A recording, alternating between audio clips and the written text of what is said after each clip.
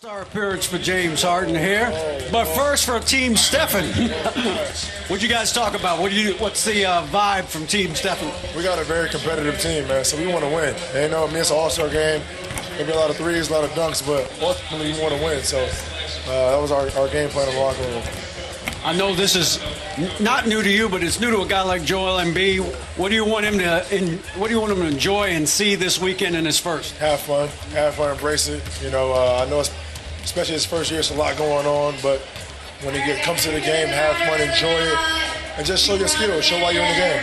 And James, you guys have had a great first half, best record in the league, and you get Joe Johnson and Brandan Wright for the stretch drive. So you got to be feeling pretty confident right now. We're, uh, we're excited, man. Just to add those two guys to what we've already, already been doing, uh, it's a great feeling. And obviously, we know what we're going against, and so uh, depth is very important uh, for these last 25 games and going into the postseason. So uh, you know, we'll be ready. What do you think of the young guys coming in with the dancing when the intro, in the intro? That's fun, man. It's just a blessing. They get an opportunity to actually, you know, hang around us and dance to catch a vibe. Uh, it's pretty dope.